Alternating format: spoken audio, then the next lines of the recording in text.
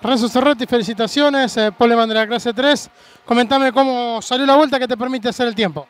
Bueno, la verdad que muchísimas gracias a vos, a todos los televidentes, saludo grande. Una excelente vuelta, supimos aprovechar bien la goma. Eh, tuvimos perjudicados porque la mayoría de los participantes querían hacer la vuelta atrás mío, así que decidí abortar ni bien abro y abrir una tranquilo solo.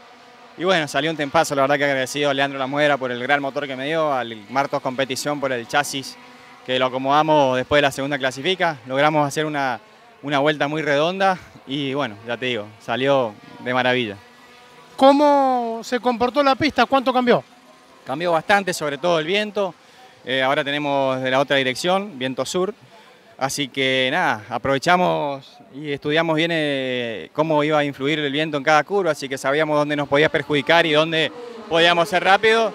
Y bueno, con ese balance cerró una gran vuelta que nos permite ser lo más rápido. ¿Qué auto se tiene para la serie? Producto más que nada de lo que va a ser el ritmo y el calor que comienza a aflorar. Sí, sin duda, va a ser mucho calor a las 3 de la tarde.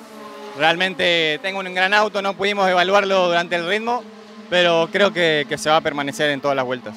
Renzo, gracias por estar en Mundo Sport y que sea con éxito el resto del fin de semana aquí en Paraná. Bueno, muchísimas gracias, saludos a todos y ojalá que disfruten del turismo pista que tiene un cierre de año espectacular.